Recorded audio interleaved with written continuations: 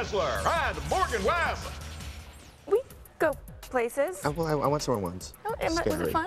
Oh, okay. Well, welcome back to X-Play. When the first Myst game came out in 1995, I was much younger, and also its less graphics and immersive play got millions of people addicted to point-and-click adventures. And at the time, it was a truly revolutionary title for the PC, and has since spawned a number of sequels. Now, the latest chapter in the Myst saga is in full 3D, Mm-hmm. and it's the first game in the series to offer a third-person perspective. Now, does it live up to its predecessors? Here's our review of Uru: Ages Beyond Myst.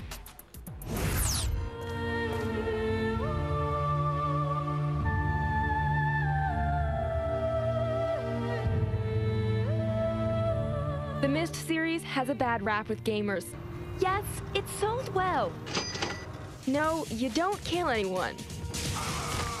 Uru Ages Beyond Myst is an adventure game where you wander around clicking things. Until you hit on the exact order to click certain clickable spots.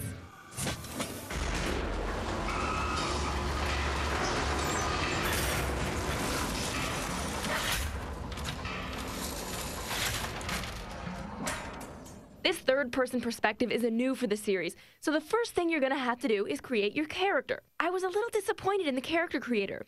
This is as ugly as I could make Adam. Oh, but he would definitely wear Birkenstocks. I can't deal with you. I'm gonna play as me.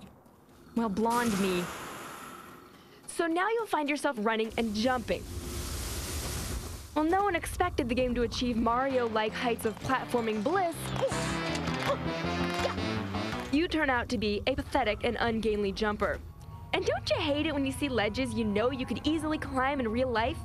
But alas, Morgan doesn't seem to have any upper body strength. You are a weakling. The story goes that archaeologists have discovered the remnants of a D'ni city buried in the New Mexico desert.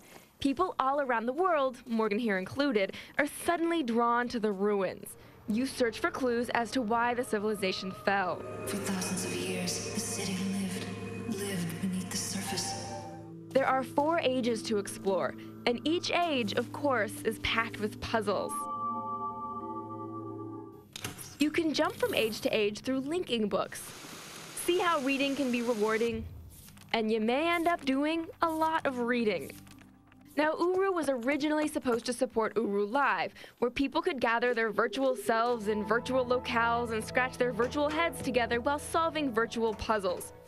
Then reality hit. Before the live portion could even complete beta testing, it was canceled.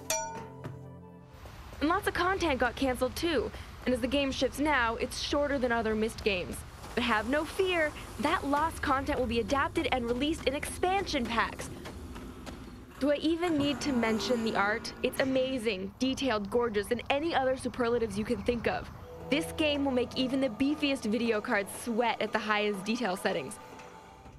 Uru Ages of Myst certainly isn't for everyone, but with an open mind, you may find there's more to gaming than just an itchy trigger finger. This game is classic Myst with a new twist. It's a shame it's only the start of an epic, but we can't wait for more. It gets a 4 out of 5. Sit, Uru, sit. Good dog. Bloody historical combat and decapitation.